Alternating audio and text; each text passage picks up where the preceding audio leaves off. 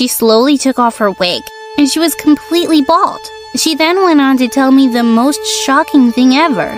Your mom